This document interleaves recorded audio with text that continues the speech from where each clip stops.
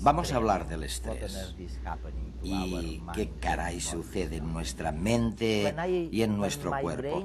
Cuando mi cerebro le dice a mi dedo que tiene que moverse, puedo entenderlo.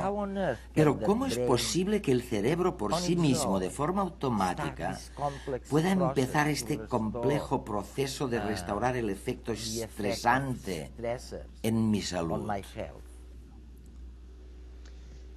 Bien, en ocasiones se trata de un proceso muy consciente, en el que uno para y piensa cuántos días tengo hasta la fecha de entrega Dios mío, solo quedan cuatro días.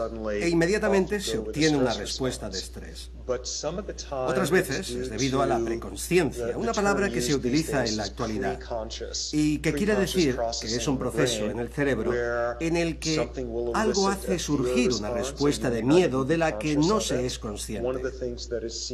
Una de las cosas que se ha observado con las personas que sufren un desorden de estrés postraumático es que en el entorno hay estímulos que provocan el miedo sin que ellos se den cuenta. Ajá, esta persona tiene la misma voz del que me hizo aquello.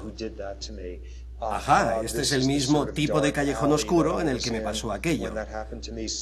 Es decir, que con unos estímulos preconscientes es posible que de repente el corazón comience a latir rápidamente y que la sensación de pánico aparezca. es posible que todo esto suceda sin darse uno cuenta.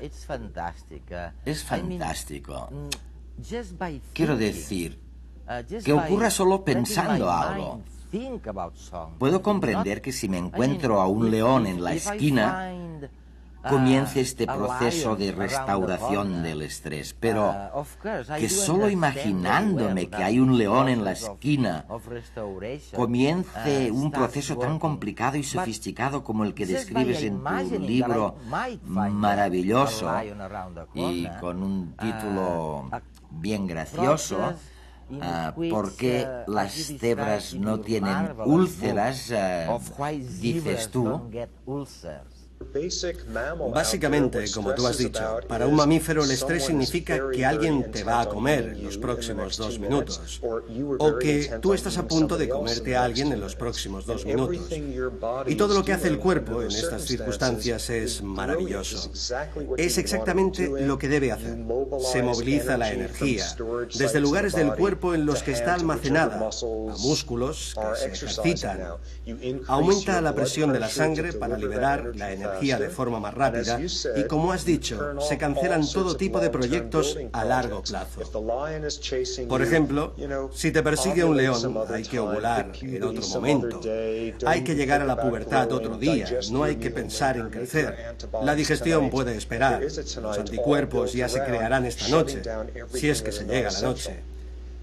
Hay que cancelar todo lo que no sea esencial. Por supuesto, el problema llega cuando nos convertimos en unos primates muy sofisticados psicológicamente que pueden generar la misma respuesta de estrés simplemente al pensar, al pasar a un estado psicológico.